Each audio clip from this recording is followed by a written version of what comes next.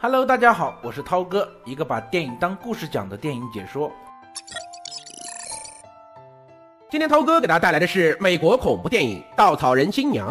故事开始，在美国一直流传着一个关于稻草人的恐怖传说。那是在二十世纪四十年代的美国乡村，农夫大力哥和女友玛丽姐很是相爱，但两人的感情遭到了家人的反对。无奈之下，他们私奔到他乡，在另外一个山村里安营扎寨，还生下了一个可爱的孩子。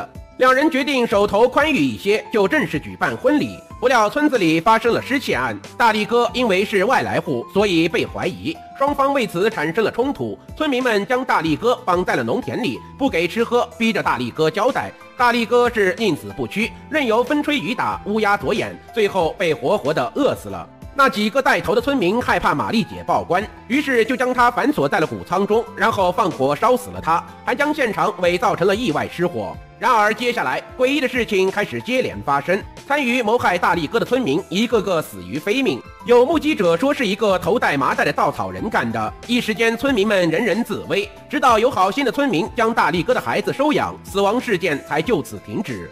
画面一转，来到二零一六年山村的农场中，马大娘将女儿马大姐、外孙女儿小马叫到了一起，告诉了他们一个可怕的事情：稻草人很快就要复活了。原来马大姐一家就是大力哥和玛丽姐的后代。当年两口子惨死后，大力哥死不瞑目，化作厉鬼附身在了稻草人的身上，大开杀戒。此后每隔二十年，稻草人就会复活。他可以在两年的时间里任意复活两次，每次四十八小时。复活后的稻草人就会在村中游荡，只要被他碰到，就会被钢叉给插死。然后四十八小时之后，稻草人就会死去，如此循环往复。这两天又要到稻草人复活的日子，马大娘叮嘱外孙女儿小马这两天千万不要出门。稻草人虽然可怕，但躲在家里就会平安无事。不过大家都知道，这种片子里的死小孩是绝对不会听话的。果然，晚上小马在窗户边听到了动静，直接开门就走了出去。在不远处的田野中立着一个诡异的稻草人，小马毫不畏惧地走到了跟前查看。这种赤裸裸的挑衅果然激怒了稻草人军，一把就将小马拖到了仓库中。听到惨叫的马大娘和马大姐知道大事不妙，拿起手枪也冲进了仓库。结果可想而知，大家依次领了盒饭。特别是马大娘被钢叉给插死，马大姐被铁门来回夹头给夹死。小马因为是儿童，咱们也就不描述了。在一片血肉模糊的景象中，稻草人军拿出了一件古老的婚纱，挂在了仓库的门上，并将一张女人的老照片也放在了仓库，接着就消失得无影无踪了。画面一转，时间来到了一年后。女主是名落魄的电台主持人，最近因为收听率低，节目被调整到了半夜，这让女主很是沮丧。这时，男友小黑打电话给女主，告诉了女主一个好消息：女主的老家打来电话，让女主回家继承她奶奶的遗产，一栋位于山村的大农场。没错，就是那个闹鬼的鬼地方。这可真是天上掉馅儿饼。女主从小就被遗弃，然后被养父母收养，但和他们的关系也是很冷淡。女主从来没见过自己的亲生父母，这下好了，有了这个农场，自己终于可以不用看老板的脸色。于是，女主带着小黑、闺蜜胖姐、漂亮姐，很快的来到了农场。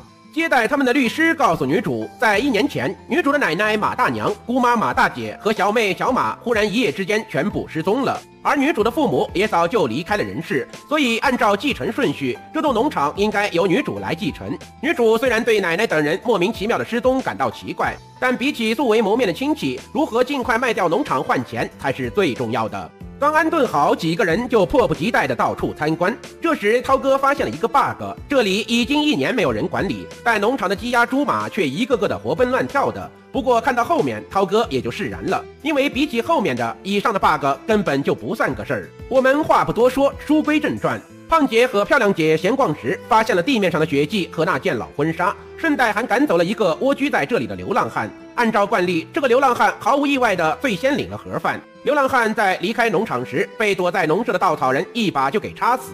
接着，女主听到动静，一个人来到了农舍，和稻草人打了一个照面。但女主偏偏对稻草人起伏的胸口视而不见，认为这就是个普通的稻草人，转身就离开了。而稻草人居然也没有对女主动手，不是说好的见谁杀谁吗？当天的晚上，四个人无聊的玩起了招鬼游戏，但最后除了房间停电，也没发生什么恐怖的事儿。接着，小黑在房间里发现了一些简报和杂志，上面都是关于恐怖稻草人的新闻，并且还找到了一张女人的老照片。小黑仔细一看，这个女人竟然长得和女主一模一样。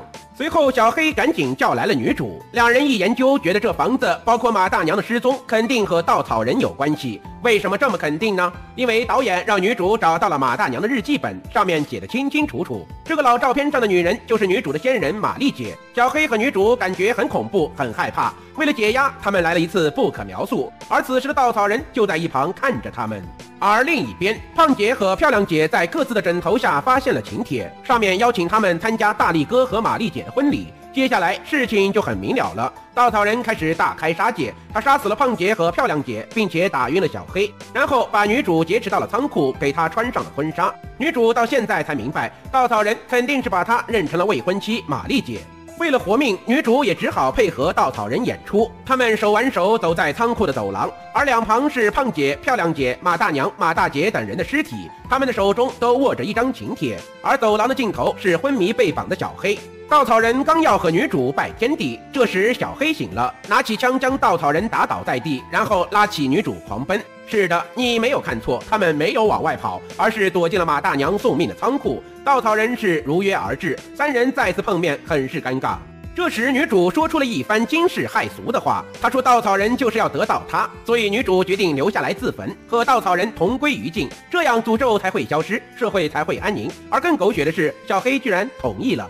小黑在临走时还把门给女主和稻草人锁上了。在一片熊熊火光中，女主做了稻草人的新娘。故事到此结束。看了这部影片，涛哥要为国产恐怖片说两句公道话。虽然部分国产片也很狗血，但最起码还是有底线的，最起码还在努力给你个合理的解释。但这部美国恐怖片却连解释都懒得解释。另外，有心的观众会发现，这部影片和涛哥解说的《索命牙仙》，从演员到场地都是一样的，大家可以好好的观察一下，挺有意思的。好了，今天的电影解说就到这里。喜欢的小伙伴记得给涛哥点赞和转发。如果你有想看的电影，也可以在评论区告诉涛哥。最后，当然也别忘了点个关注，涛哥每天为你解说一部恐怖电影。